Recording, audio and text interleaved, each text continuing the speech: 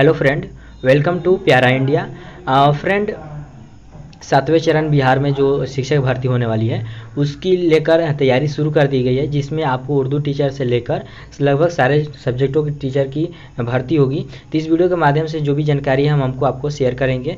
और फ्रेंड सबसे बड़ी बात यह है कि बहुत से बच्चों को ये डाउट रहता है कि जो भी मैं वीडियो बनाता हूँ, उस पर फेक न्यूज़ रहता है फेक चीज़ को बताता हूँ। तो ऐसे लोगों को अगर लगता है फेक है तो वीडियो का स्किप कर सकते हैं। क्योंकि मैं जो भी वीडियो बनाता हूँ, आपको पेपर से बनाता हूँ तो उस पेपर का नाम भी बताता हूँ और उसका डेट भी मेंशन करता हूँ कि इस डेट का है या इस पेपर का न्यूज़पेपर है या जो भी कोई भी और भी चीज़ बताता हूँ तो उसको हम वेबसाइट के माध्यम से या जो रियल होता है वही चीज़ बनाते हैं।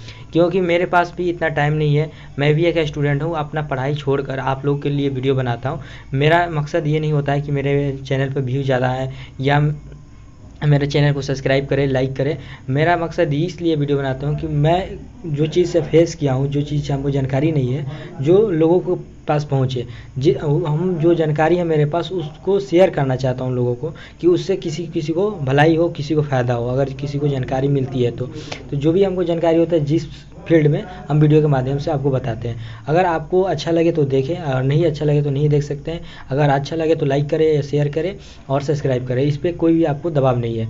और वीडियो को पूरा वॉच करें। ये हम आपको बताते हैं इसलिए क्योंकि वीडियो को जब तक आप पूरा नहीं देखेंगे, आपको समझ में नहीं आएगा क्या चीज़ हम बता रहे हैं, क्या नहीं बता रहे हैं। लोग क्या करते हैं कि आधा वीडियो देखते हैं और वीडियो को छोड़ देते हैं स्किप कर देते हैं। अब बाद में कमेंट करके पूछते हैं कि ये चीज़ नहीं पता है, ये चीज़ गलत है।